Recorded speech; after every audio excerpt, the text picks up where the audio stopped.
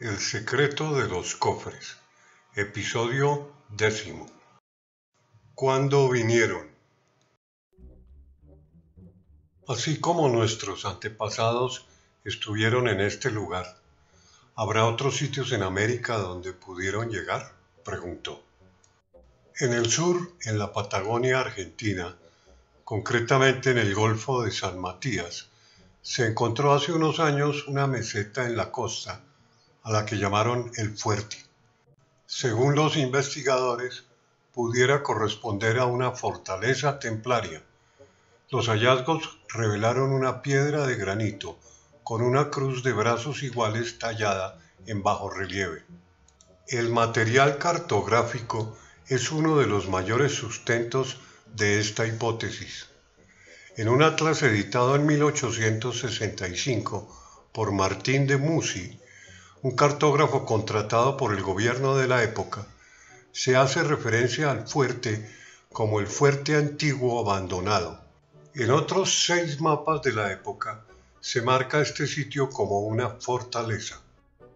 Fray Diego Durán, en su obra titulada Historia de los indios de Nueva España e Islas de Tierra Firme, escrita en el siglo XVI, relata que en estas tierras existió una orden de caballeros que, según sus palabras, profesaban milicia, todos eran hijos de caballeros, tenían sus templos y prelados a quienes obedecían.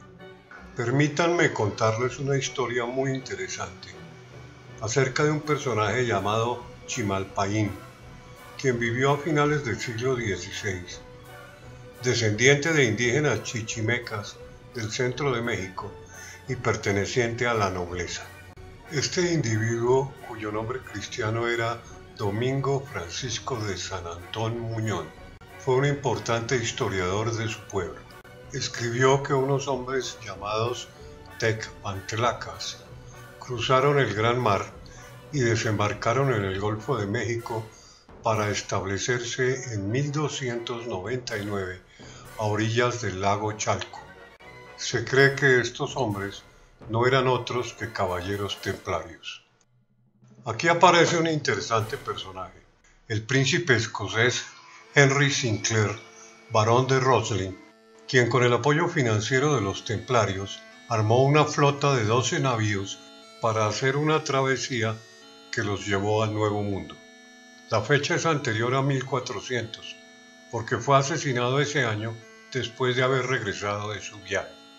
Esto explicaría la causa por la cual los diseñadores de la famosa capilla de Roslin tallaron en sus muros mazorcas de maíz y plantas de aloe vera, desconocidas entonces en las tierras escocesas. La leyenda cuenta cómo exploraron en América tierras de Nueva Escocia y Nueva Inglaterra. La tumba de uno de sus caballeros yace hoy en día en Westford, Massachusetts.